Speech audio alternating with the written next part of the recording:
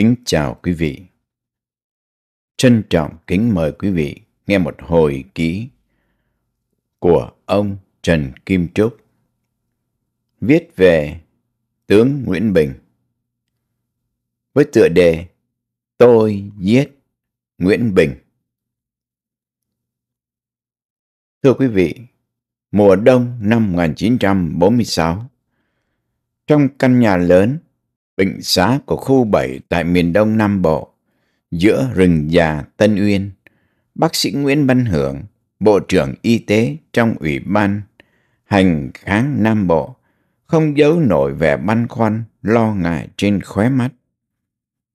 Mặc dầu giữa chiến khu, bác sĩ Hưởng cũng đội nón, áo choàng dài trắng muốt và đeo găng cao su. Các phụ tá mang trên tay chiếc khay bạc đựng dụng cụ giải phẫu, cũng lo âu chẳng kém bác sĩ khoa trưởng. Chưa bao giờ trong căn phòng nhỏ giải phẫu, đèn măng sông lại được thắp nhiều và sáng như vậy. Bác sĩ Hưởng đưa mắt quan sát bệnh nhân. Bệnh nhân nằm dài trên chiếc bàn mộc, chỉ còn thoi thóp thở, đôi mắt nhắm nghiền, sắc mặt trắng bệch, máu đỏ còn rỉ qua băng quấn trên ngực và bụng. Một người đàn ông cao lớn đeo kính trắng, mặc bà ba đen, khẽ đẩy cửa phòng bước vào. Thưa bác sĩ, có chút hy vọng nào không? Bác sĩ Hưởng trầm ngâm. Tôi không dám quả quyết, nhưng còn nước thì còn tát. Giải phẫu trong tình trạng này có thể làm bệnh nhân chết tức khắc hay hy vọng cứu được. Ông Bí Thư nghĩ thế nào? Thưa tôi cũng nghĩ như bác sĩ, còn nước còn tát, may ra cứu sống được khu trưởng. Vậy thì ông Bí Thư ra ngoài đi, chúng tôi bắt tay vào việc. Rồi cửa phòng khép kín. Bác sĩ Hưởng bắt mạch bệnh nhân khu trưởng khu 7 Nguyễn Bình một lần nữa rồi quyết định giải phẫu.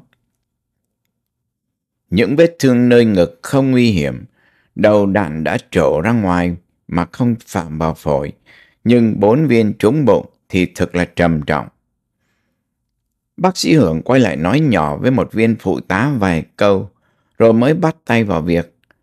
Không khí trong phòng giải phẫu thật nặng nề. Tiếng soạt soạt của chiếc dao bạc giải phẫu trên da thịt át cả hơi thở của các bác sĩ đang hành nghề. Giọng chỉ huy của bác sĩ Hưởng máy móc, ngắn ngủi nhưng cực kỳ nghiêm trang.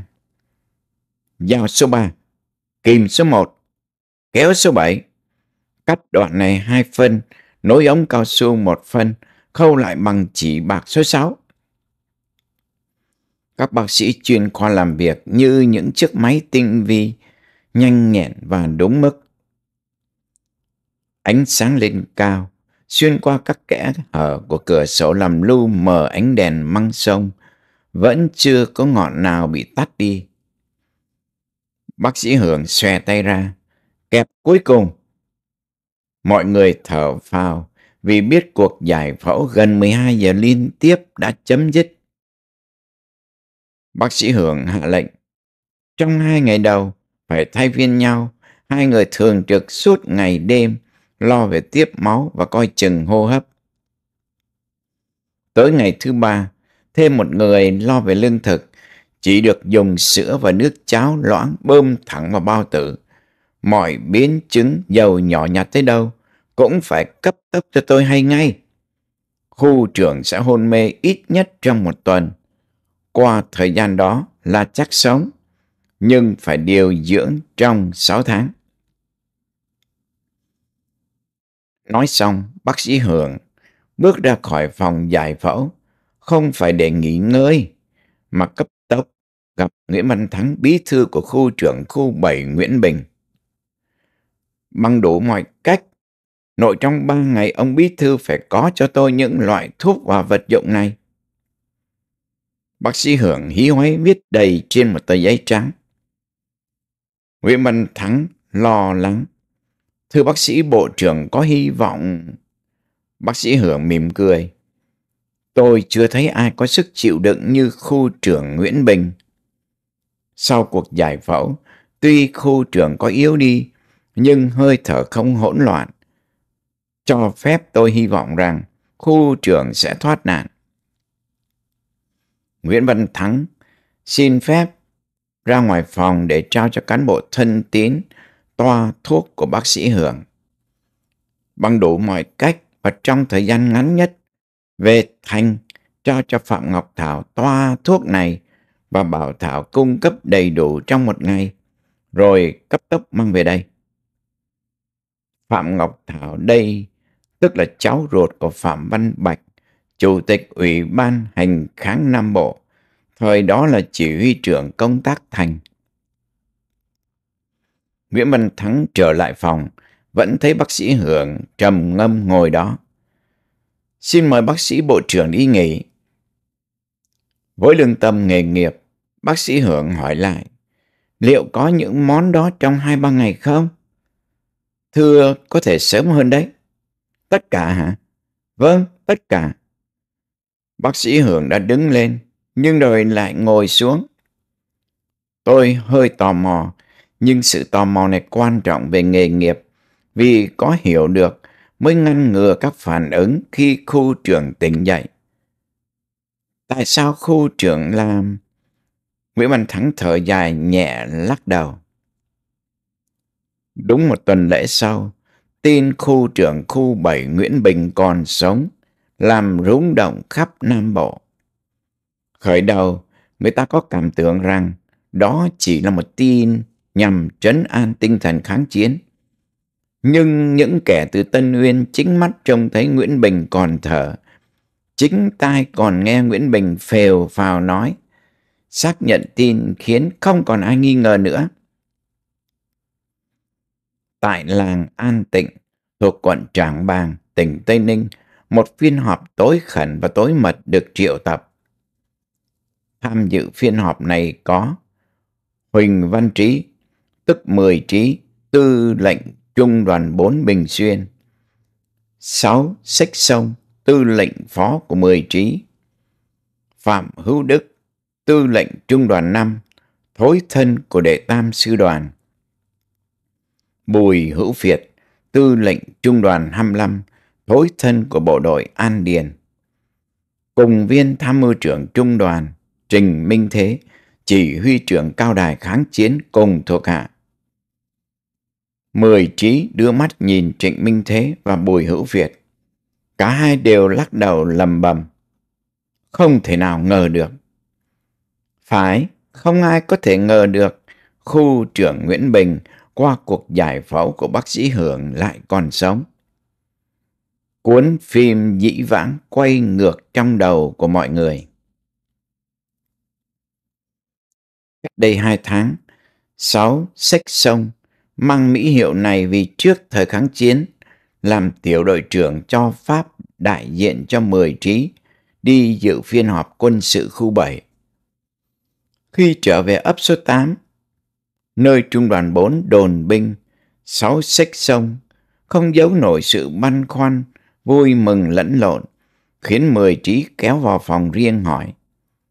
Sáu à, có chuyện gì vậy mày?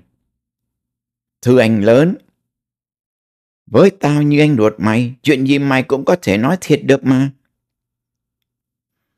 Điều này, sáu, sách sông công nhận nên lưỡng lự một chút rồi nói rõ. Thưa anh lớn, cuộc họp tại khu bộ chẳng có gì quan trọng. Không hiểu sao khu trưởng biệt đãi em. Cuộc họp chấm dứt, khu trưởng lưu em lại một ngày để nói chuyện. Mười trí tánh nết nóng như lửa, ngắt ngang.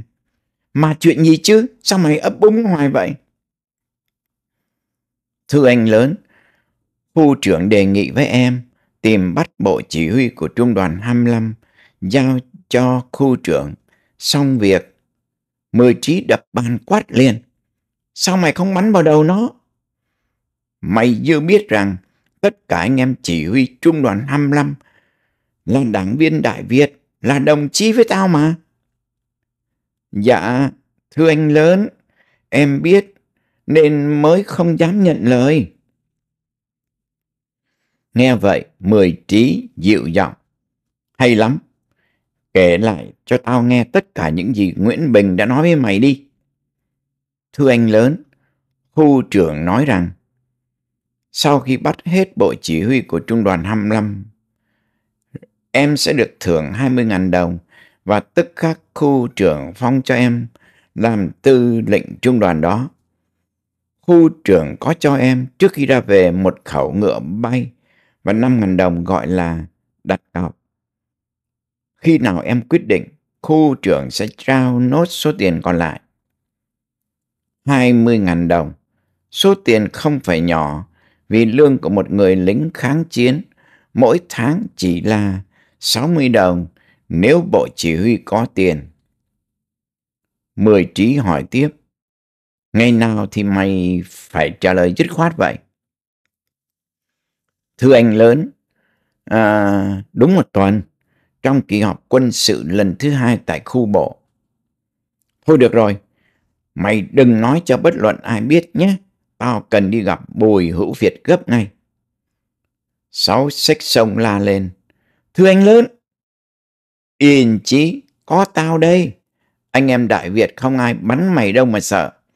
Và nếu bắn thì chính tao đã bắn mày rồi. Mười trí vội vã qua ấp số 4, nơi trung đoàn 25 và 5 đồn binh, chỉ cách ấp số 8 có một con lộ trải nhựa. Sự qua lại giữa hai ấp, từ cấp chỉ huy đến binh sĩ là chuyện thông thường, nên lính canh bồng súng chào mà không chút ngạc nhiên trước sự xuất hiện của mười trí. Mười trí đi thẳng tới tổng hành dinh của trung đoàn 25, đưa mắt nhìn mọi người đương làm việc rồi nói, Các em, qua có chuyện riêng muốn nói với anh Việt dài phúc. Mười trí nói với Bùi Hữu Việt bằng giọng ỡm mờ. Anh Việt, dạo này có nhiều tiền xài không? Bùi Hữu Việt lắc đầu. Tháng này, các anh em ở thành chưa có người tới tiếp tế. Trung đoàn 25, tức bộ đội An Điền, đặt dưới quyền chỉ huy của Đại Việt Quốc dân Đảng Sứ Bộ Nam Việt, nên thường được đảng tiếp tế tiền bạc và vũ khí. Mười trí vẫn giọng cười đùa cợt. Tôi cho anh 10.000 đồng, chịu không? Bùi hữu Việt ngạc nhiên trước số tiền lớn lao như vậy. Chố mắt hỏi lại. Thiệt không đó? Tiền đâu mà anh Mười có nhiều vậy?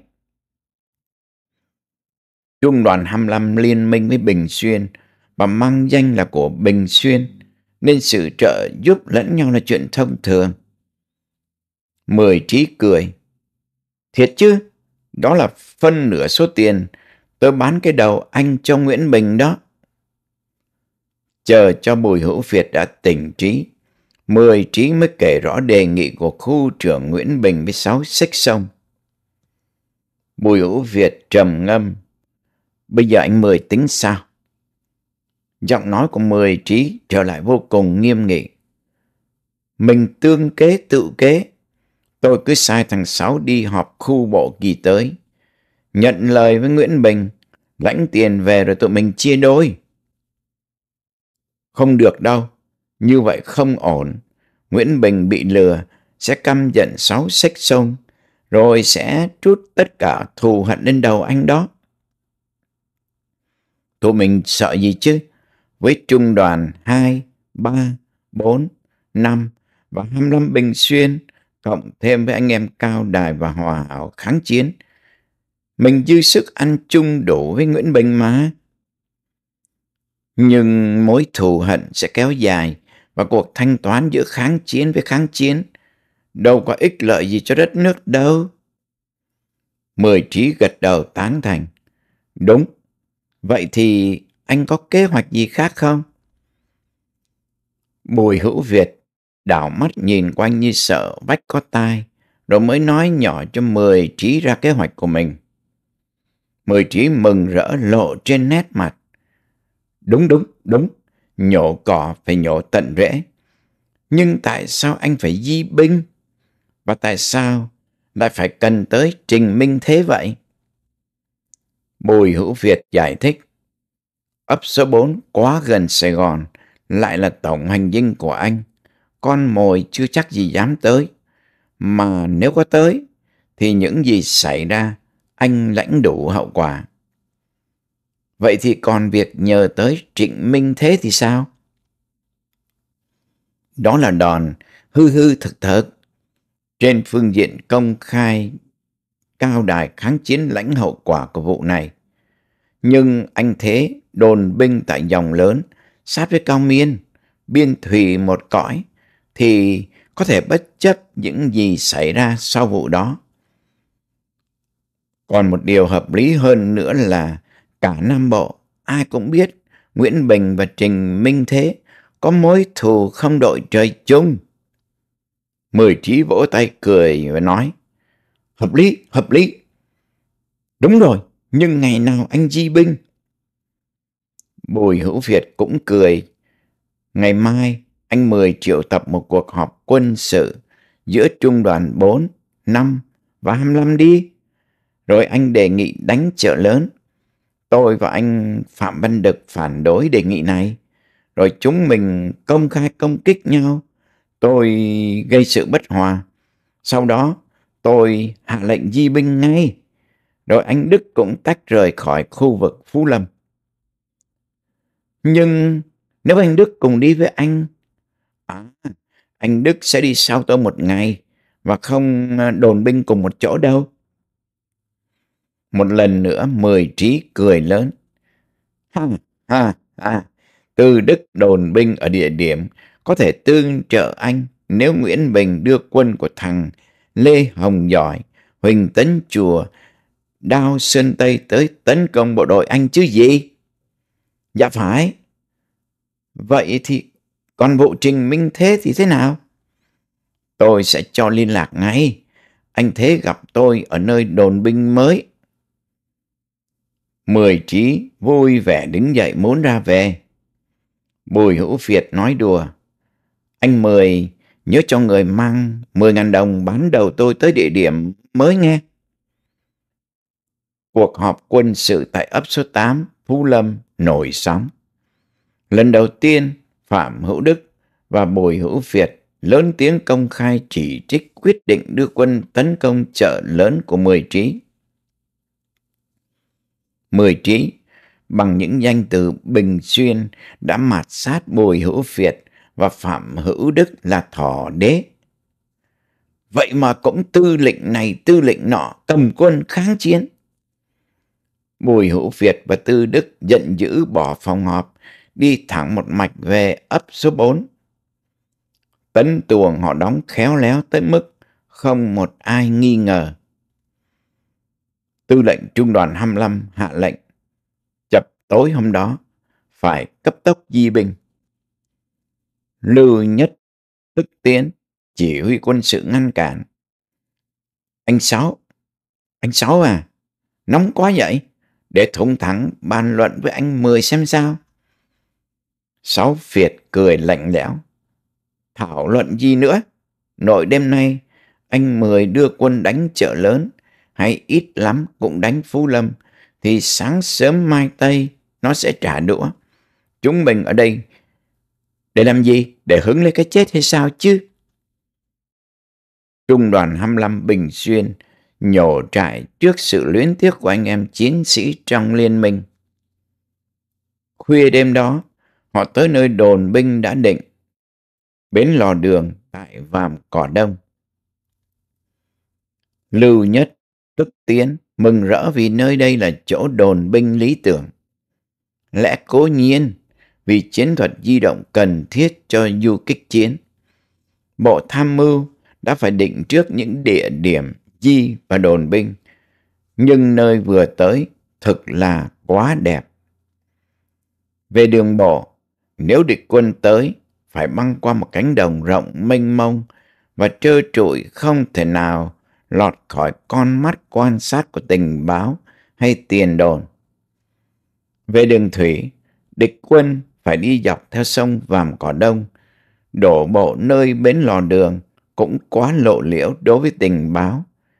Liên lạc viên của trung đoàn tung ra khắp nơi. Hơn nữa, bộ tổng tham mưu được đặt tại căn nhà lớn cách bến lò đường cả gần cây số ngàn. Muốn tới bộ tổng tham mưu, người ta phải băng qua nhiều khu đất trống, nhà cửa thưa thớt, rồi cuối cùng vượt cây cầu gỗ khá lớn, bắc ngang rạch mới tới tiền đồn của bộ tổng tham mưu. Điểm đắc lợi nhất nơi đây là binh đội được đóng thành hình chữ Y tại các căn nhà dọc theo bờ sông Sình Lầy, đầy dừa nước, số còn lại đồn trú nơi nội địa hình cánh cung. Như vậy, dầu bị tấn công thì trung đoàn 25 cũng dư điều kiện thuận lợi để kháng chiến. Có thua thì cũng đủ đất để rút lui một cách an toàn. Bùi Hữu Việt gọi vị chỉ huy quân sự tới. Anh cho liên lạc đi mời gấp Trình Minh Thế đi. Thưa anh lớn, à, tôi đã thỏa thuận với anh Tư Đức về vấn đề tương trợ phía Nam, nhưng còn phía Bắc cần anh Thế. Lưu Nhất cãi lại.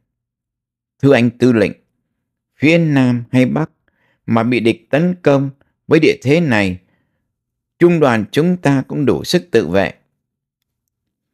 Sáu phiệt dịu đàng một điều ít khi có trong những cuộc thảo luận với thuộc cấp.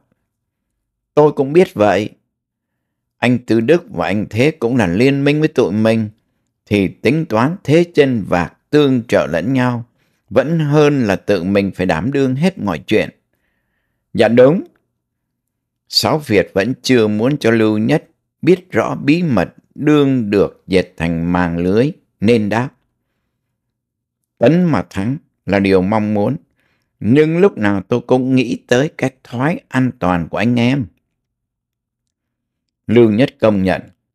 Thưa anh lớn, tôi sẽ phái liên lạc đi ngay. Anh lớn có cần biên thư... Khỏi cần, khỏi cần. Liên lạc nói với anh Thế rằng việc cay đắng là đủ. Đó là mật hiệu giữa các vị tư lệnh trong Liên quân quốc gia kháng chiến miền Nam nhận được mệnh lệnh tối khẩn, Trình Minh Thế tức tốc tới bến lò đường. Bùi Hữu Việt hơi ngại vì Trình Minh Thế đem theo một tiểu đội cận vệ, trong đó có cả tư lệnh phó cao đài kháng chiến tên Luyến. Luyến nhiều tuổi hơn thế, nhưng lại nóng nảy, luôn luôn đeo trên vai khẩu súng trường của kỵ binh Nhật. Luyến là tay thiện xạ, trong vòng 100 thước, Luyến chưa hề bắn phát nào không trúng đích. Nhiều người ngạc nhiên vì địa vị cao mà còn mang súng trường thì Luyến đáp. Nói thiệt với các anh nghe, đi đường xa, thấy cái gì khả nghi trong 200 thước trở lại. Với cây súng này, nếu tôi không bắn chết thì cũng làm nó bị thương. Trò chơi ưa thích nhất của Luyến là khi bắt được các cán bộ Việt Minh sau cuộc điều tra trói địch dưới gốc cây rồi tuyên án. Mày Việt Minh hạng nhẹ, tao bắn cháy tóc. Mày Việt Minh cỡ trung, tao xin một tay. Mày nặng quá rồi, đạn phải ghim giữa trán. Không bao giờ bản án đã tuyên lại bị truyền thi hành sai lệch. Như hiểu ý Bùi Hữu Việt, Trình Minh Thế nói, Tôi có một chuyện rất khó. Tôi muốn nói riêng với mình anh được không? Bùi Hữu Việt nhận lời ngay. Như vậy, cuộc gặp gỡ tay đôi do khách đề nghị.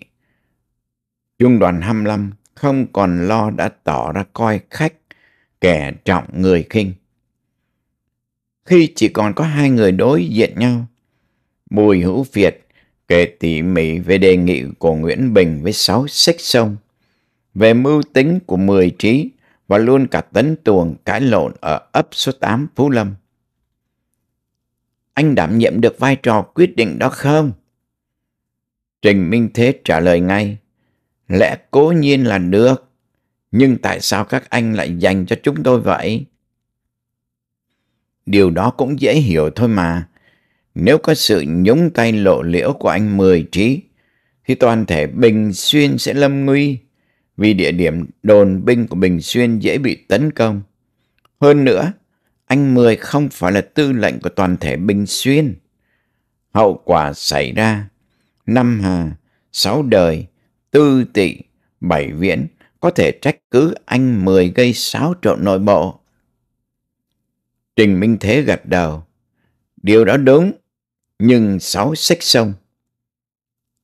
Anh Mười có thể đổ quấy rằng sáu sách sông phản bội trung đoàn bốn Bình Xuyên. Trình Minh Thế mỉm cười, đăm đăm nhìn Bùi Hữu Việt. Sao các anh không tự giải quyết vụ này? Nhất là Nguyễn Bình đã muốn lấy đầu anh. Tôi đã dự cuộc thi bắn có mặt cả Nguyễn Bình. Các em của anh bắn còn chính xác hơn người khác mà. Đúng vậy, nhưng công khai, Nguyễn Bình chưa hề có điều gì thất thố với chúng tôi. Trái lại, bề ngoài lúc nào khu trưởng cũng ưu ái. Trình Minh Thế nghe đến đây thì phá lên cười.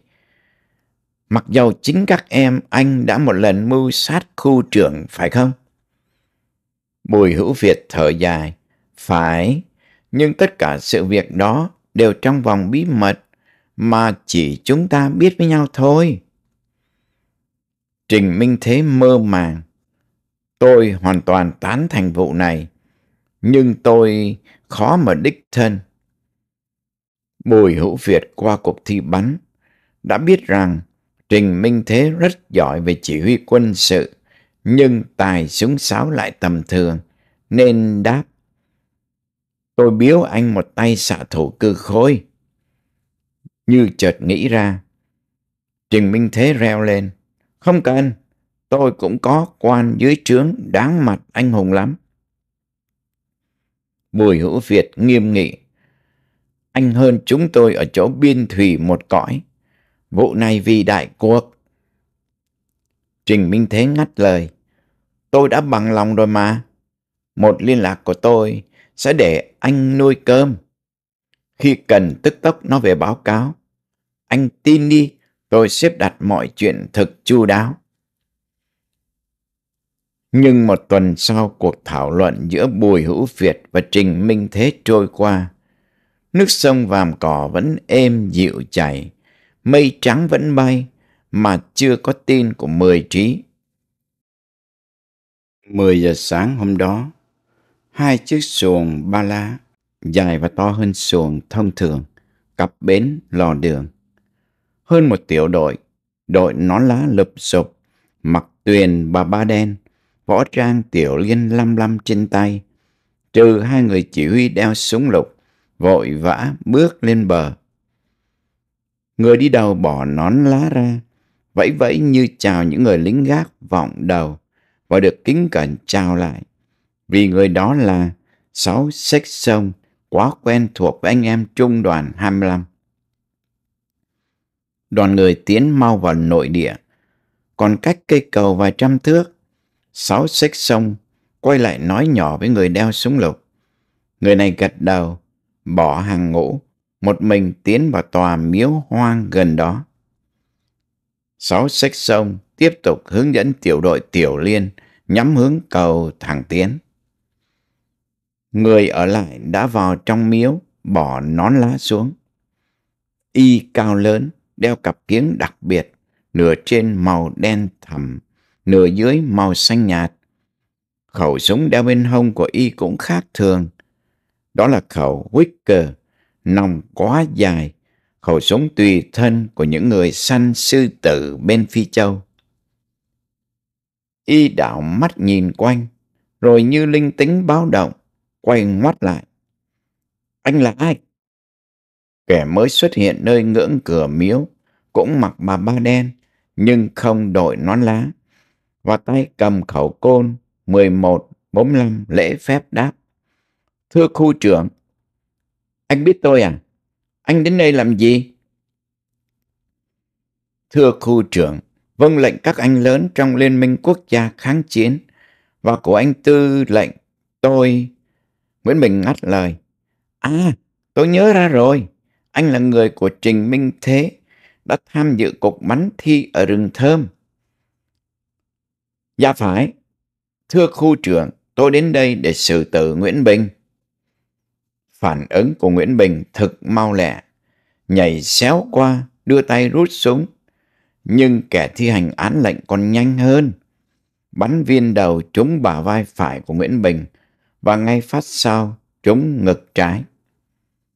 Nguyễn Bình bỏ chạy về phía tượng Phật, nhưng chỉ còn đưa tay trái ra nắm lấy chân tượng, rồi từng phân một quỵ xuống. Cuối cùng, ngã ngửa trên sàn gạch rêu đã phủ xanh. Kẻ thi hành án lệnh muốn bắn thêm phát ân huệ. Từ phía cầu, Tiểu Liên nổ ròn tan và liên tiếp kế tiếng chân vội vã chạy về phía miếu hoang. Kẻ thi hành án lệnh mỉm cười, đi về phía sau miếu rồi mất dạng. Các vệ sĩ của Nguyễn Bình đã vào trong miếu. Nguyễn Bình đương dãy dụa, hai tay ôm chặt lấy bụng, máu đỏ từ các kẽ tay tuôn ra nhuộm đỏ cả rêu xanh. Có tiếng hạ lệnh, khiêng khu trưởng xuống xuồng, rút lui mau. Tiếng chèo khua nước, chiếc xuồng chở Nguyễn Bình nằm ngửa, chân còn dãy dụa vì đau đớn, rẽ sóng lướt mau trên mặt nước. Trên bờ dọc theo mé sông Vàm Cỏ Đông, sau những bụi dừa nước ôm tùm, đoàn quân của trung đoàn 25 đã phục kích sẵn với cả những khẩu đại liên Maxim. Xạ thủ đại liên hỏi, vì hai chiếc xuồng đã nằm gọn trong ổ phục kích. Thưa anh lớn, ta nhả đạn chứ? Lưu Nhất đã chứng kiến từ lúc đầu khi Nguyễn Bình được khiêng xuống xuồng, chép miệng đáp. Không cần, dẫu sao chăng nữa, khu trưởng Nguyễn Bình cũng đáng được chôn cất đường hoàng, chứ không đến nỗi phải mò tôm. Vì muốn dành một chút danh dự cuối cùng cho một vị khu trưởng, mà sau này kháng chiến Nam Bộ nổi lên biết bao sóng gió. Văn phòng Bộ Tham mưu Trung đoàn 25 lại nhộn nhịp, nhưng trong một phòng kín chỉ có Bùi Hữu Việt, Lưu Nhất, Sáu Xích Sông, vị tham mưu trưởng Trung đoàn 25 và anh lính cao đài xạ thủ hội họp. Bùi Hữu Việt hỏi anh lính cao đài, em có chắc Nguyễn Bình bị chết không? Thưa anh lớn, một phát trúng bả vai, một phát trúng ngực không nguy hiểm lắm. Nhưng bốn phát trúng bụng thì tôi chưa thấy ai có thể chịu được. Lưu nhất tiếp, đạn côn 45 bắn gần, có thể làm đứt từng khúc ruột đó. Bùi hữu Việt quay qua hỏi sáu xích sông. Sao tới mãi hôm nay mới thi hành được một vụ à? Sáu xích sông vội đáp. Trong phiên họp khu bộ kỳ 2, Nguyễn Bình thấy em nhận lời bên anh, thì mừng lắm, muốn ra tay ngay, nhưng cuối cùng lại trì hoãn bởi có bận nhiều công việc quan trọng khác. Y lưu em lại khu bộ. Em nóng lòng muốn chết vì phải thông báo cho anh Mười rõ. Nguyễn Bình cũng rõ bổn phận của em. Sau khi đi họp nên viết thư tay cho liên lạc của khu bộ đi trao cho anh Mười nói rằng còn nhiều việc hệ trọng bàn với em nên phải trong một thời gian nữa mới về được. Cuối cùng, em mới hiểu rằng Nguyễn Bình nghi ngờ em hay ít lắm vào lúc giờ chót có thể thay đổi ý kiến nên giam lòng em ở khu để dò xét. Nhận được thư, anh Mười đã biết, rồi thông báo hành trình của tụi em hàng ngày cho anh biết. Tại sao Nguyễn Bình lại phải làm thế? Thì một phần y sợ đàn em không hoàn tất được sứ mệnh. Phần nữa, y phải kèm sát em sợ mưu toan bị lỗ. Lưu Nhất gật đầu. Dĩ nhiên rồi, dĩ nhiên là Nguyễn Bình phải hành động như vậy. Sáu sách sông kể tiếp. Đã lọt vào nội địa bên lò đường rồi. Em đề nghị Nguyễn Bình vào miếu lánh mặt. Bởi lẽ tất cả các anh em trong bộ tham mưu trung đoàn 25 đều biết mặt khu trưởng. Nếu mẻ lưới không bắt được trọn bộ tham mưu, chỉ một tên thoát thôi cũng đủ vỡ lỡ hết mọi chuyện. Hơn nữa, sự xuất hiện đột ngột của khu trưởng có thể gây phản ứng bất ngờ mà anh em trong bộ tham mưu trung đoàn 25 ai cũng có súng, ai bắn cũng mau như khu trưởng đã biết. Nguyễn Bình công nhận hữu lý nên mới tạm lánh nơi miếu hoang. Sáu xích sông chợt hỏi. Vậy à, thí dụ như Nguyễn Bình không chịu vào miếu thì các anh tính sao? Lưu Nhất mỉm cười. Thì tốn thêm ít viên đạn nữa chứ sao? Gần tới cầu, anh Sáu thấy loáng thoáng vài người ra vào bộ tham mưu. Nhưng ở quanh sân, trung đội Thompson phòng vệ bộ tham mưu đã phục kích sẵn. Thí dụ như trung đội này thua tiểu đội Tiểu Liên của Nguyễn Bình, thì còn vòng đai bên ngoài. Lưu Nhất nghiêm giọng. Sáng sớm hôm nay, tôi mới được anh tư lệnh trung đoàn cho hay. Nhưng khi thấy Nguyễn Bình đặt chân lên lò đường là đã coi y như cái thay ma, dầu y có mang theo cả một đại đội vệ binh. Vì cả đại đội này sẽ bị quân phục ven sông, bắn chìm xuống trước khi đặt chân lên đất liền. Thí dụ rằng, giờ phút chót, Nguyễn Bình đổi ý kiến, quay xuồng cùng tiểu đội cận vệ ra về, thì máu loang nhựa trên sông vàm cỏ chứ làm sao thoát được tử thần. Sáu xích sông rùng mình, Lưu Nhất hiểu ngay. Trong trường hợp đó thì cũng hơi nguy hiểm cho anh, vì đạn vốn không có mắt đấy. Sáu sách sông thắc mắc. Nhưng tại sao Nguyễn Bình lại thù hận các anh như vậy chứ? Bùi hữu Việt đưa mắt cho Lưu Nhất rồi cùng phá ra cười. Không, khu trưởng Nguyễn Bình không ghét chúng tôi như anh tưởng đâu. Câu hỏi của Sáu Xích Sông không phải là vô lý, nhưng Bùi Hữu Việt và Lưu Nhất đã cười xòa, làng sang chuyện khác, bởi vì dầu sao cũng không cần phải cho Sáu Xích Sông hiểu biết về sự sống chết ngấm ngầm giữa Nguyễn Bình và Trung đoàn 25 Bình Xuyên. Nguyễn Bình, tên thực là Nguyễn Thông Thảo hay Nguyễn Phương Thảo, vì cả hai tên đó đều đúng. Nguyên là đảng viên của Việt Nam Quốc dân Đảng. Nguyễn Bình đã trung kiên theo tinh thần của đàn anh Nguyễn Thái Học mà hoạt động nên bị Pháp kết án và bị đày ra côn đảo. Nơi côn đảo, Nguyễn Bình đụng chạm với nhiều đảng viên của đệ tam quốc tế chịu ảnh hưởng của những bản mới này. Điều đó quá thông thường. Nhưng Nguyễn Bình lại mắc một lỗi lầm quá lớn là sau khi chịu ảnh hưởng của cán bộ đệ tam quốc tế rồi, chịu làm chỉ điểm viên cho chúa ngục Tu Stu, tố ngược lại những dự tính, những âm mưu thầm lặng của các đồng chí cũ. Thời kỳ đó, chúa ngục Tustu là vua với đầy đủ quyền hành tại côn đảo. Tustu muốn biết một điều gì, có thể tra tấn phạm nhân tới mức gãy nát đôi chân, sống lây đất hay chết thì cho xuồng đưa thi hài ra bỏ ngoài biển cả. Hình phạt tầm thường nhất của Tustu là nghe báo cáo kẻ nói xấu sau lưng mình sẽ bị bỏ xuống hầm xay lúa một vài tháng. Trong hầm này, suốt ngày đêm không có một chút ánh sáng. Phạm nhân ở trần truồng đẩy trụ máy xay lúa như con trâu kéo trục ép mía ở các lò đường. Phạm nhân nhắm chặt mắt khi làm việc, vì có mở mắt cũng chẳng thấy đường, và mở thì sẽ bị bụi tấm, trấu, bay mù mịt lọt vào mắt, nhức nhối vô cùng. Phạm nhân nơi hầm xay lúa mỗi ngày được hai vắt cơm, một chút muối hột và một lon nước lạnh. Nguyễn Bình đã tố cáo nhiều đồng chí cũ, hầu hết là cao cấp mà cán bộ đệ tam quốc tế e dè, phải sống cảnh địa ngục côn đảo. Điều này khiến cho các can phạm áo xanh như kỹ sư Phan Các Sửu nhân viên trong văn phòng của côn đảo, ông già tín đặc trách lo về việc tù nhân đốn cây và hái ớt vân vân, bực tức. Càng bực tức và xấu hổ hơn nữa là các can phạm đảng viên của Việt Nam Quốc dân Đảng.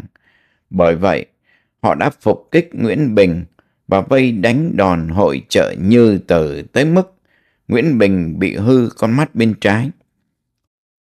Nếu không có sự can thiệp kịp thời của các thầy chú, thì chắc chắn Nguyễn Bình đã bỏ mạng ngoài côn đảo rồi. Thêm nhiều đảng viên Việt Nam Quốc dân Đảng xuống hầm xây lúa, nhưng có lẽ cũng vì trận đòn này, Nguyễn Bình phần nào thay đổi tính nết. Một nửa còn hào khí của con người quốc gia, một nửa của con người đệ tam quốc tế. Ngày đảm nhiệm chức vụ khu trưởng khu 7 tại Nam Bộ, Nguyễn Bình đơn thương độc mã tới thăm bộ đội mạnh nhất là An Điền, sau đổi thành Trung đoàn 25 Bình Xuyên. Nguyễn Bình ngỡ ngàng nhất khi gặp lại Tổng tham mưu bộ đội An Điền từ Phan Khắc Sửu, ông Già Tín, Bùi Hữu Việt, Huỳnh Văn Thảo, Tức Giáo Thảo, Trần Quốc Bửu, Văn Ngô và nhiều người khác. Nhưng lại là những người đã từng bị giam cầm tại Côn Đảo. Những người đã từng biết rõ hành động của Nguyễn Bình nơi hòn đảo địa ngục này. Một điều ngán ngược hơn hết cho Nguyễn Bình là hiện diện trong bộ tham mưu của bộ đội An Điền còn có một người thanh niên từng đảm nhiệm cấp bậc chỉ huy của sư đoàn Sao Trắng hoạt động tại vùng Tiên Yên Móng Cái, chạy dài xuống Quảng Yên. Khi ông Hồ Chí Minh mới lên nắm chính quyền tại Hà Nội, Nguyễn Bình đã từng được lệnh của Việt Minh cầm quân đánh phá sư đoàn sao trắng của Đại Việt Quốc dân Đảng do tướng Vũ Kim Thành chỉ huy. Tuy nhiên, An Điền là địa chủ. Cuộc đón tiếp khu trưởng Nguyễn Bình vẫn diễn ra vô cùng lịch sự và hòa nhã, đúng tinh thần thượng võ Á Đông. Người ta là khách. Nhưng đôi bên hờm nhau từ đó. Chuyện côn đảo xa xôi bởi vì những người mà Nguyễn Bình đụng mặt tuy biết rõ những gì đã xảy ra, nhưng không ai trực tiếp là nạn nhân của Nguyễn Bình thời đó. Phạm Hữu Đức, sư đoàn phó đệ tam sư đoàn của Nguyễn Hòa Hiệp, tư lệnh trung đoàn 5 theo sự cải tổ quân sư, nhưng chưa hề bị đầy nơi côn đảo nên không một chút thù hận Nguyễn Bình. Nhưng sự hiện diện của một người đã từng lãnh nhiệm vụ quan trọng trong sư đoàn sao trắng Bắc Việt làm cho Nguyễn Bình e dè nhất, đó là Vũ Kim Thành.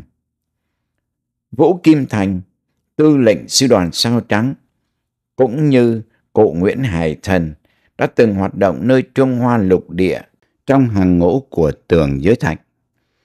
Khi Nhật vào đầu hàng đồng minh, Vũ Kim Thành được lệnh của Đại Việt Quốc dân đảng kéo quân về nước, phối hợp với các cán bộ chiến khu triệu tiến chiếm Hà Nội. Một trận bão lụt đã làm cho đoàn quân này phải ngừng lại vài ngày và để cho đoàn quân giải phóng Việt Minh gồm không đầy 200 người dưới quyền chỉ huy của Văn Tiến Dũng tới thủ đô Bắc Việt trước. Võ Nguyên Giáp hạ lệnh cho Nguyễn Bình đưa quân gồm những lính cũ khố xanh, khố đỏ của Pháp chặn đánh sư đoàn sao trắng. Nhiều trận đụng độ ác liệt xảy ra, đôi bên còn trong thế ngang ngửa, thì dưới áp lực của Lữ Hán và Tiêu Văn, hai tướng tàu qua giải giới Nhật, Hồ Chí Minh buộc lòng phải hòa hoãn với phe quốc gia. Hành động chống đối sư đoàn sao trắng của Nguyễn Bình đã quá lộ liễu. Nhà cầm quyền Việt Minh chỉ còn cách là cho Nguyễn Bình rời khỏi Hà Nội theo phái đoàn Bắc Việt vào Nam Bộ. Để giữ hoàn toàn bí mật, Nguyễn Phương Thảo lấy tên là Nguyễn Bình, một nhân viên tầm thường tháp tùng phái đoàn Lê Duẩn vào Nam.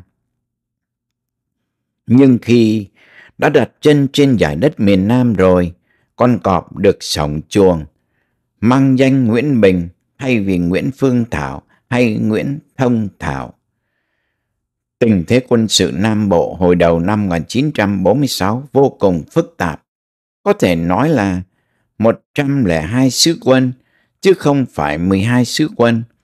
Vì bất luận ai quy tụ được một số người có trong tay vài khẩu súng, thì y cũng có thể làm vua một cõi. Nguyễn Bình được phong hay tự phong làm khu trưởng khu 7 bao gồm miền Đông Nam Bộ. Một khu vô cùng quan trọng vì quân đội Pháp chỉ mới lan tràn nơi đây. Nguyễn Bình nhận xét rất mau và rất đúng tại khu đương bốc lửa này. Những bộ đội do cán bộ Cộng sản chỉ huy hay thân cộng như bộ đội của Huỳnh Tấn Chùa, Đào Sơn Tây, Huỳnh Văn Nghệ chỉ có danh mà không có thực lực, leo tèo vài chục khẩu súng quá cũ kỹ. Ngược lại, những bộ đội kháng chiến chỉ biết đánh Tây như Bình Xuyên lại được Hồ Vĩnh Ký, Lâm Ngọc Đường khi còn là giám đốc và phó giám đốc công an Nam Bộ thời Nhật vừa đảo tránh Pháp cung cấp cho nhiều vũ khí lấy được của Pháp chôn giấu. Bên cạnh Bình Xuyên và liên kết hẳn với Bình Xuyên còn có đệ tam sư đoàn, tức Việt Nam Quốc dân Đảng và nhất là bộ đội An Điền, Đại Việt Quốc dân Đảng, được Nhật cung cấp cho quá nhiều súng đạn. Đó là thế quân sự, thế nhân dân Bình Xuyên, Việt Nam Quốc dân Đảng, Đại Việt Quốc dân Đảng còn cùng với Cao Đài và Hòa Hảo lập thành mặt trận quốc gia liên hiệp. Ngay từ giờ phút đầu vừa nhậm chức, nếu Nguyễn Bình ra mặt chống đối mặt trận này, thì chắc chắn sẽ bị thanh toán trong chớp nhoáng. Nguyễn Bình liền thi hành kế hoạch tế nhị hơn là làm thân với kẻ mạnh. Nguyễn Bình không ngần ngại cùng với tên bí thư Nguyễn Văn Thắng song mã mở cuộc viếng thăm thân thiện các bộ đội trong mặt trận quốc gia liên hiệp. Nguyễn Bình còn lì hơn nữa là dám ăn dầm ở về nhiều ngày tại bộ tổng tham mưu của các bộ đội trong mặt trận này. Sở dĩ Nguyễn Bình táo bạo như vậy vì tin chắc rằng không ai dám bắn mình khi mình còn là khách của các bộ đội đó. Và Nguyễn Bình lì hơn nữa là trong các vụ tranh luận, khi thua chỉ cười xòa, hẹn tới lần sau. Huỳnh Văn Trí, tức Mười Trí, tư lệnh trung đoàn 4 Bình Xuyên, với tư cách là địa chủ nơi liên ấp số 4 và số 8 tại Phú Lâm, luôn luôn niềm nở tiếp đón Nguyễn Bình, long trọng đúng với một vị khu trưởng. Những bữa tiệc được linh đình đặt ra thiết đãi quý khách. Trên chiếu trải dài nơi sân gạch, trong vuông tre cao ngất. Vuông tre, đây là tiếng địa phương, vì tại hai ấp số 4 và số 8, mỗi nhà đều trồng tre hình vuông vắn chung quanh. Dưới ánh trăng xanh mát hay dưới ánh đuốc rực rỡ. Vuông tre đây là tiếng địa phương vì tại hai ấp số 4 và số 8, mỗi nhà đều trồng tre hình vuông vắn chung quanh. Nguyễn Bình luôn luôn ngồi đối diện với 10 trí giữa bàn tiệc, còn các ghế khác được xếp đặt đúng nghi lễ, tùy theo địa vị của quan khách. Như bí thư Nguyễn Văn Thắng ngồi bên tay trái 10 trí, tư lệnh trung đoàn 25 Bùi Hữu Việt bên mặt, Phạm Hữu Đức ngồi bên tay mặt Nguyễn Bình Huỳnh Văn Thao, phía tả, vân vân. Mười trí Trong những bữa tiệc đông đảo này, nói cười luôn miệng và bao giờ cũng hướng dẫn câu chuyện vào những vấn đề vui đùa, hết sức tránh thảo luận về quân sự, nhất là chính trị. Nói như vậy, không phải mười trí thuộc giới giao búa của Bình Xuyên, không hiểu chút gì về quân sự hay chánh trị đâu. Mười Trí cũng như Ba Dương, thủ lãnh của Bình Xuyên thời kỳ Pháp thuộc, cũng như Nhật thuộc, đã bí mật giao thiệp rất nhiều với anh em cán bộ của đệ tứ quốc tế, nghĩa là đã có căn bản về chánh trị. Ngày khởi đầu kháng chiến, sau khi tiếp xúc với bộ đội An Điền, tức Trung đoàn 25 Bình Xuyên, Mười Trí gia nhập Đại Việt Quốc dân Đảng. Mười Trí gia nhập Đại Việt không phải là sự tình cờ. Tư Thiên, tức Morris Thiên, một trong mười con rồng xanh lãnh đạo Bình Xuyên, khi Việt Nam vừa độc lập, đã từ Sài Gòn ra Hà Nội và được đích thân ông Trương Tử Anh, đảng trưởng Đại Việt thu nhận và huấn luyện. Khói lửa lan tràn tại miền Nam, Tư Thiên rời Hà Nội về Sài Gòn và đã cho Ba Dương, Năm Hà và Mười Trí rõ về Đại Việt. Mười Trí không muốn đưa vấn đề chính trị ra thảo luận với Nguyễn Bình, mặc dầu biết rõ về Nguyễn Bình chỉ vì còn mang nặng tính chất anh hùng lương sơn bạc, không bao giờ muốn thắng khách trong nhà mình. Một lần giáo thảo đã đề nghị với mười trí hạ Nguyễn Bình, nhưng mười trí gạt đi. Làm như vậy người ta nói chủ hiếp khách. Tuy nhiên, mười trí có rào đón tới đâu, thì trong những bữa tiệc kéo dài đôi khi từ chập tối tới khuya, cũng có những chuyện ngoài ước tính của mười trí xảy ra.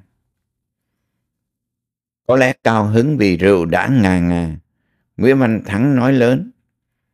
Chiến tranh sắp chấm dứt, chúng ta sẽ thắng Pháp vì Torres lãnh tụ Cộng sản Pháp hiện nắm đa số trong Quốc hội Pháp thì chẳng còn bao lâu nữa sẽ làm Thủ tướng Pháp. Huỳnh Văn Thảo ngồi cạnh Nguyễn Bình nhỏ nhẹ hỏi lại. Thưa khu trưởng, tin có đúng như vậy không? Thông thường, Nguyễn Bình giữ gìn cẩn mật, nhất là đã nhiều phen tranh luận thua giáo thảo và Bùi Hữu Việt. Không hiểu sao hôm nay lại cao hứng đáp. Đúng, điều đó đồng chí Thắng nói đúng. Tôi cũng tin chắc như vậy. Vẫn bằng giọng của một thi sĩ. Giáo thảo tiếp. Tôi có thể thưa cùng khu trưởng điều này không? Ồ, anh em cả mà. Vấn đề đưa quân viễn trinh qua tái chiếm thuộc địa Việt Nam được thảo luận kỹ lưỡng tại Quốc hội Pháp. De Gaulle đặt tên quân Việt thực dân chẳng nói làm chi. Nhưng tại sao đảng viên Cộng sản trong Quốc hội Pháp với thế đa số, nghĩa là bác một cách dễ dàng, lại cũng bỏ tham chấp thuận đề nghị của thực dân vậy? Xin khu trưởng giải thích cho tất cả anh em có mặt nơi đây được rõ đi. Nguyễn Bình như tỉnh hẳn rượu, đáp quanh co. À, điều đó còn nhiều bí ẩn. Tôi sẽ nói cho anh em rõ một ngày gần đây. Có nhiều anh em trẻ đã cất tiếng cười khá sỗ sàng. Nhưng chuyện lỡ rồi. Nguyễn Bình trong một phút bồng bột đã để lộ chân tướng. Như đã nói, Nguyễn Bình là một cây lì, tuy bị Huỳnh Văn Thảo làm cho lỡ làng giữa bữa tiệc, nhưng không chút nao núng, không lộ sự tức giận ra ngoài mặt. Nguyễn Bình xoay chuyển liền câu chuyện từ chính trị qua quân sự và đưa ra đề tài hào hứng, khiến các cán bộ trẻ trong bộ tham mưu trung đoàn 25 hoan nghênh ngay. Thi bắn được tổ chức vào ngày mai. Tuy nhiên dưới con mắt tinh đời của mười trí, Phạm Hữu Đức, ông già tín và cả Bùi Hữu Việt, Huỳnh Văn Thảo, sự căm thù giữa khu trưởng Nguyễn Bình và trung đoàn 25 Bình Xuyên vừa phát sinh nơi chén rượu đêm nay. Sáng hôm sau, các xạ thủ đã được lựa chọn dời Phú Lâm tiến về rừng thơm, khu an toàn để vững tâm trổ hết tài nghệ. Cũng như trong tất cả các cuộc đấu võ quốc tế, những xạ thủ dọn sân được đưa ra trước. Tuy nhiên, các xạ thủ dọn sân này hầu hết vừa quá tuổi 20, còn quá thư sinh, gương mặt chưa bị nét phong trần kháng chiến hằn lên, lại gây sự kinh ngạc vô cùng đối với Nguyễn Bình. Có dư luận cho rằng, chính vì vậy mà sự e ngại sự quyết tâm thanh toán trung đoàn 25 Bình Xuyên càng ăn sâu vào trong đầu óc Nguyễn Bình. Xạ thủ đầu tiên biểu diễn trong trung đoàn 22 là một sinh viên luật khoa vừa từ Bắc vào Nam với phái đoàn Huỳnh Văn Tiếng, Đặng Ngọc Tốt.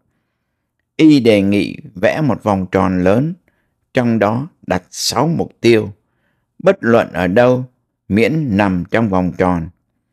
Nhưng khi đặt mục tiêu thì băng kín mắt y lại. Mục tiêu đặt xong, y đứng cách vòng tròn 20 thước. Sẽ được tháo băng mắt khi nghe tiếng hô vô. Sau tiếng hô, xạ thủ chạy như bay vào vòng đã vẽ. Lăn tròn mình một vòng, rồi mới rút súng lục đeo bên nách, bắn liền sáu phát. Tiếng reo hò vang lên vì cả sáu phát đạn đó đều trúng sáu mục tiêu. Nguyễn Bình ngơ ngẩn vì khu trưởng khu 7 không biết rõ ràng xạ thủ đó đã từng được huấn luyện về một ngành chuyên môn về điệp báo tại lục quân đại học, hiệu yên bái của Đại Việt Quốc dân Đảng. Nơi đây và trong ngành này, các cán bộ cũng được hay bị huấn luyện như những con chó săn trong chuyện báo thù của dân đảo Cox hay như các quân khuyển ngày nay. Riêng về tác giả, các cán bộ sau khi nghe tiếng hô sung phong phải phá cửa lao mình vào trong một phòng tối rộng lớn, bắn hạ cho được các người nộm địch thủ của mình, được đặt rải rác trong phòng rồi tông cửa khác lao ra. Hành động này được bấm phút từ khi cán bộ tác xạ đạp cửa vào phòng và tông cửa thoát ra. Cộng thêm với bao nhiêu địch thủ đã bị bắn trúng để định đoạt tài nghệ. Như vậy, chỉ bằng mắt tôi nhảy vào vòng tròn giữa thanh thiên bạch nhật, đối với các cán bộ này thực là quá dễ dàng. Xạ thủ thứ hai của trung đoàn 25 Bình Xuyên cũng là một thanh niên vừa mới quá 20 tuổi. Y cao lớn và mang tên bình dân là B. Thực sự, anh B là nam tước Watanabe Hitomi, bí thư của đại tướng Sato, tư lệnh quân đội Hoàng gia Nhật tại Đông Nam Á, và được lệnh của đại tướng Sato đi theo bộ đội An Điền tức Trung đoàn 25 Bình Xuyên của Đại Việt Quốc dân Đảng. Anh B cầm cây súng của kỵ binh Nhật trên tay, chưa lên đạn trong súng, bằng lòng để một người khác giữ con chó cách xa 100 thước. Và khi người đó bắn một phát súng lục gần con chó để đuổi nó thì mới hành động. Đúng như điều kiện đã giao kết, con chó vừa hoảng hốt chạy vì tiếng súng lục bắn ngay kế cận. Lúc đó anh B mới nạp đạn và con chó tội nghiệp bị lăn tròn nhiều vòng rồi nằm dãy dụa chết. Giữa cuộc đấu súng hào hứng đó, Sáu Lào vội vàng tới nói nhỏ với Mười Trí. Mười Trí cười lớn. Tôi xin báo với các đồng chí là cuộc thi bắn này còn có cả Đức Huỳnh giáo chủ và tư lệnh cao đài Trình Minh Thế tới tham dự. Đức Huỳnh giáo chủ vẫn trong bộ bà ba đen, tươi cười đi tới ôm vai cán bộ trung đoàn 25 trước khi chào hỏi Nguyễn Bình. Và Trình Minh Thế cũng có hành động như Đức Huỳnh giáo chủ. Đức Huỳnh giáo chủ sau cuộc đại hội tại xã Mỹ Lộc, Tân Uyên nơi Nguyễn Bình chọn làm tổng hành dinh cho khu 7, đã trở thành ưu tiên đặc biệt trong Ủy ban Hành kháng Nam Bộ, gồm những nhân vật mới như Chủ tịch là luật sư Phạm Ngọc Thuần, Phạm Thiều, Ủy viên tuyên truyền cùng với Đặng Ngọc Tốt, luật sư Nguyễn Thành Vĩnh, Ủy viên Tài chính, và kỹ sư Kha Vạn Cân, Ủy viên Kinh tế. Việc tham dự Ủy ban Hành kháng Nam Bộ với chức vụ không rõ rệt của Đức Huỳnh giáo chủ không làm hài lòng Liên quân quốc gia kháng chiến. Tuy nhiên, khi Đức Giáo Huỳnh giáo chủ tới thăm, vẫn được liên quân niềm nở đón tiếp. Đức Huỳnh giáo chủ ưa thích liên quân vì anh em chỉ huy đều còn rất trẻ, trực tính và hăng say trong nhiệm vụ. Anh em liên quân rất mong Đức Huỳnh giáo chủ tới thăm vì đi theo con người cao lớn, đôi mắt long lanh như điện, luôn luôn mặc bộ đồ bà băng bằng lụa đen. Còn có vài người nữa mang theo những bọc quần áo, tiền bạc tặng cho liên quân. Đã có lần một nhân viên trong bộ tham mưu trung đoàn 25 nói đùa. Thưa giáo chủ, mỗi lần tới thăm anh em, giáo chủ có cảm tưởng như bị bóc lột không? Đức Huỳnh giáo chủ đáp ngay. Không, tôi có cảm tưởng là được thực sự chia sẻ nỗi khó khăn mọi phương diện của anh em. Một lần nữa, Đức Huỳnh giáo chủ ngủ chung với anh em trong bộ tham mưu trung đoàn 25.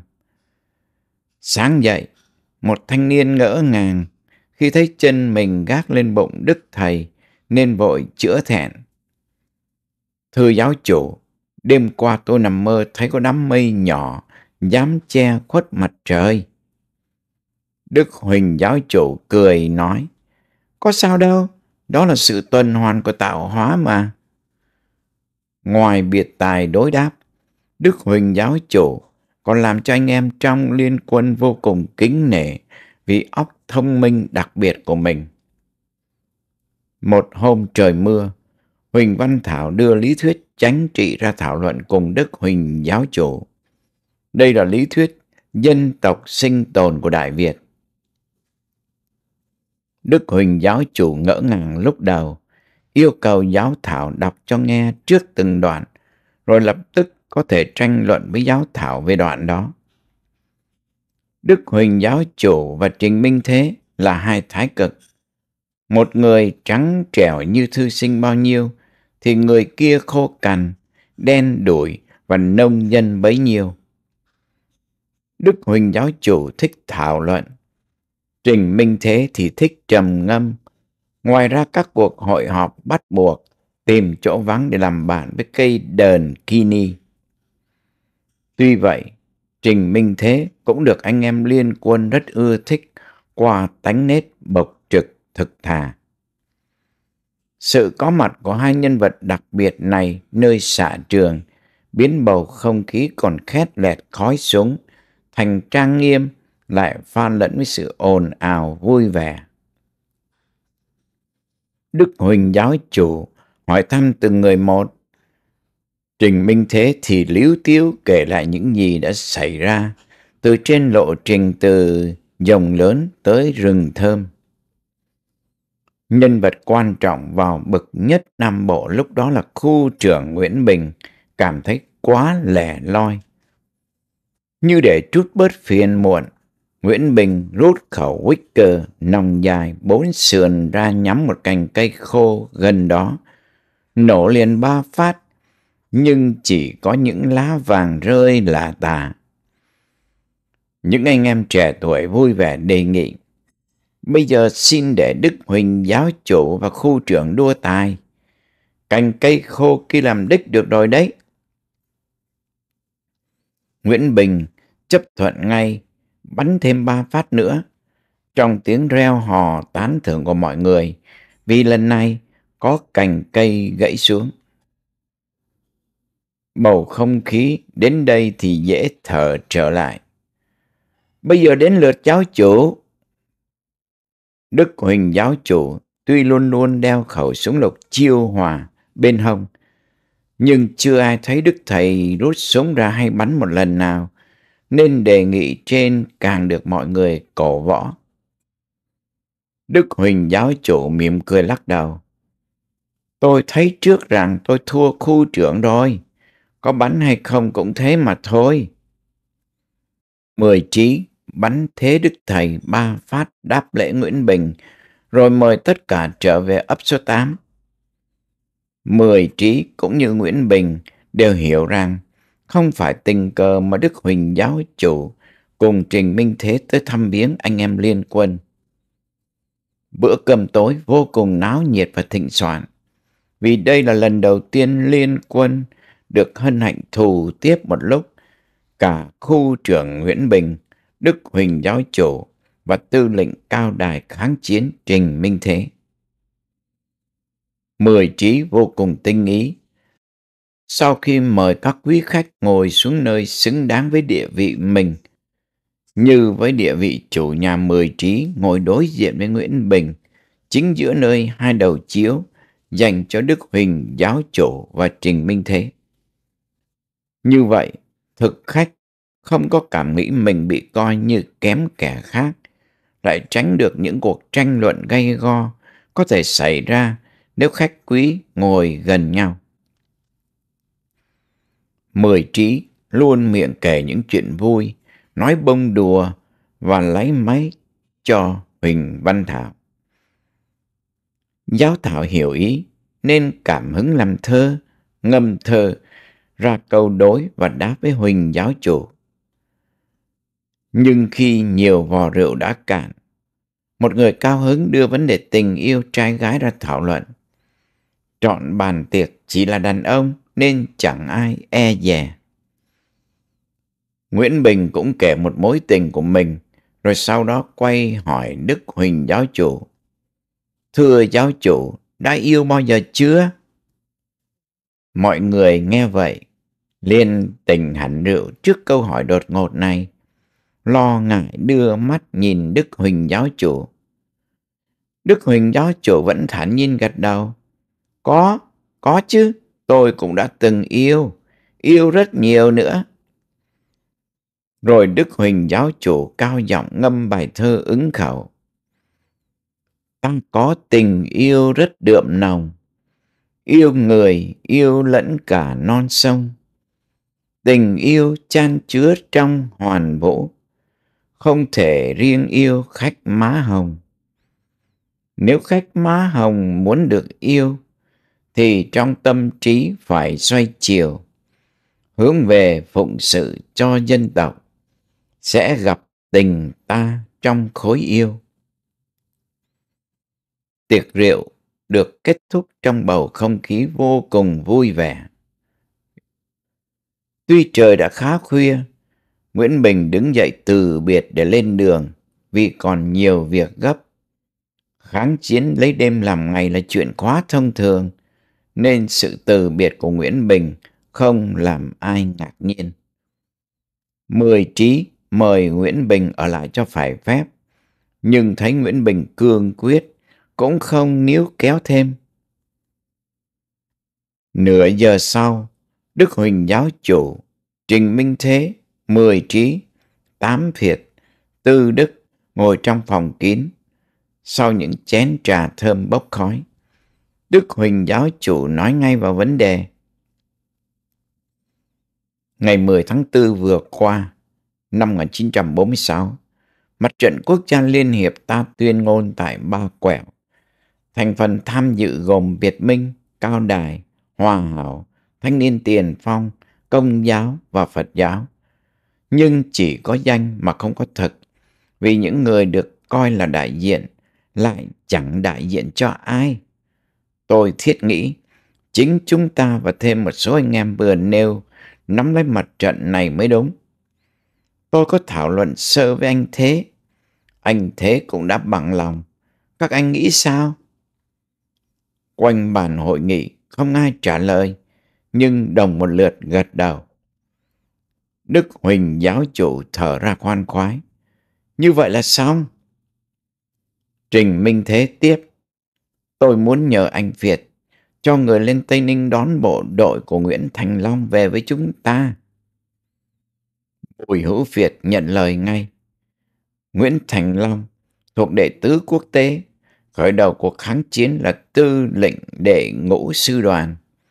Lúc đó, lực lượng không còn bao nhiêu, đương sống qua ngày nhờ sự che chở của anh em cao đài. Chúng ta nên lấy ba quẹo làm địa điểm đại hội. Địa điểm này rất thuận lợi. Đức Thầy, anh Thế, đi tới cũng tiện. Tôi dưới này kéo lên cũng gần. Anh Việt và anh Tư Đức đưa quân lên đó trước sửa soạn đón tiếp anh em. Đúng ngày này, tháng tới, chúng ta đại hội xếp đặt mọi công chuyện. Thôi, công việc ai nấy lo.